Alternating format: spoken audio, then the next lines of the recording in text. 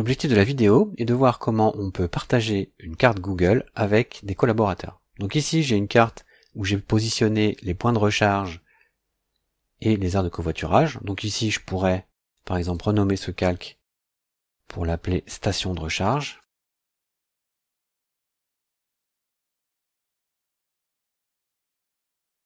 Ici, je peux faire un aperçu pour voir ce que donnera ma carte. Donc voilà à quoi elle ressemblera. Peux bien sûr la modifier à partir de là ou la partager à partir de là. Mais je peux le faire aussi ici sur partager. Donc là, qu'est-ce que je peux faire? Je partage à toute personne disposant de ce lien peut voir le contenu. Donc si je coche ça, assez facilement, si j'envoie ce lien-là, tous les gens qui ont ce lien pourront voir la carte.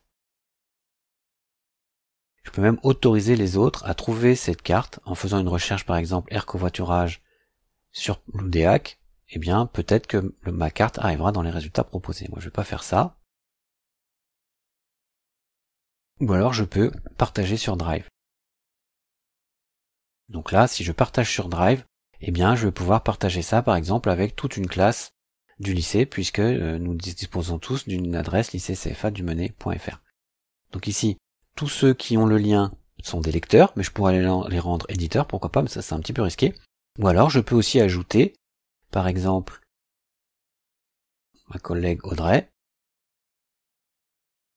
Je peux la notifier qu'elle a accès à la carte et je peux la rendre soit éditrice, elle aussi pourra changer la date, soit la rendre lectrice. Alors je peux aussi, bien sûr, partager avec une classe, puis chaque élève de la classe aura accès à la carte et pourra la modifier. Ici je vais quitter. Alors bien sûr, il y a un autre intérêt, hein, c'est que cette carte, vous pourriez aussi euh, l'insérer dans une page HTML, pourquoi pas.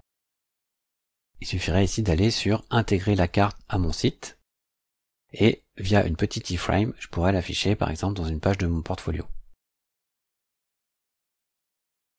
Et voilà,